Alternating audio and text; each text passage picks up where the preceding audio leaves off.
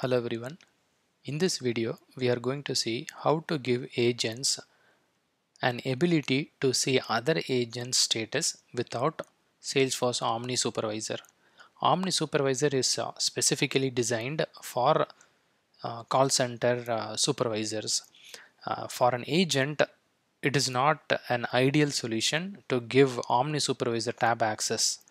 Um, uh, Omni Supervisor uh, tab will have a very big payload to uh, uh, to display it on the screen and then it will be uh, mostly real-time metrics.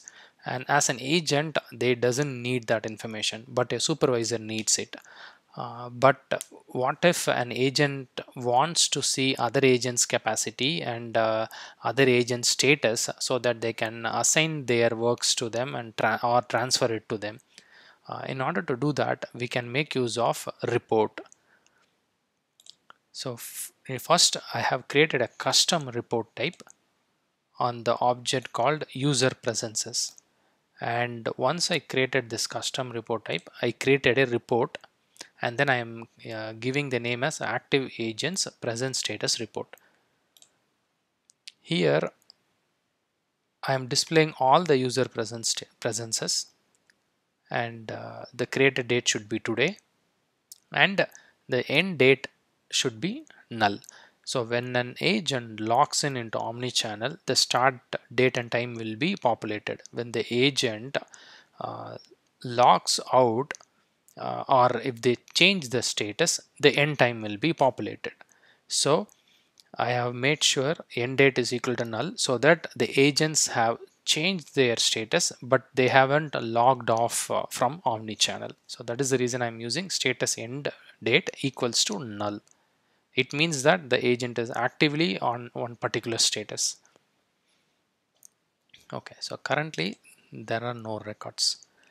If you want to add additional information of the agent click edit layout select add fields related via lookup select the user. Here I wanted to get the division information of the agent. So I have selected division. Click OK. Click save.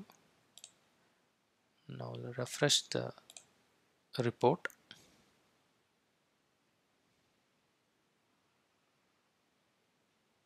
Let's click edit. I'm going to add the division column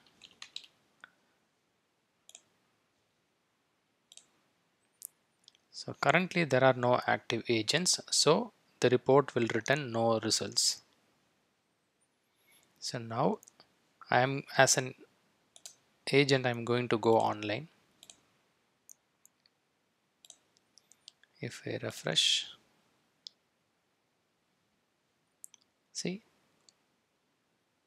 I am the user I am in currently in available chat my average capacity is 5 so so far I was not on full capacity.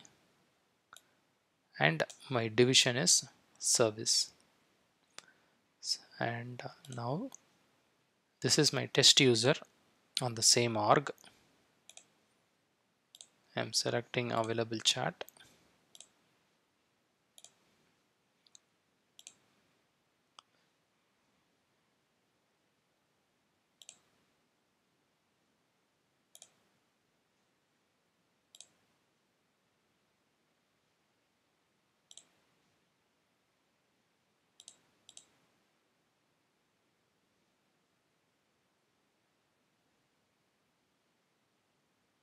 yeah. So it took some time to refresh but it will be in real time. So these two users test user and admin user they logged in and uh, they are available and their status is uh, available chat. They are currently in available chat uh, session. Uh, if if they if I change my status the end date will be populated and uh, it won't display it in the report and the division of the user for test is sales and for admin is service. So if you want additional fields from the user use click edit layout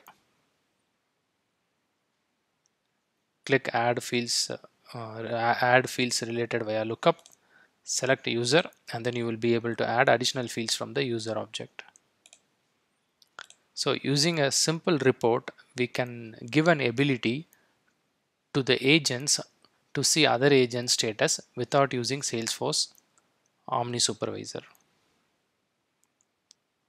I hope it was helpful. Thank you for watching.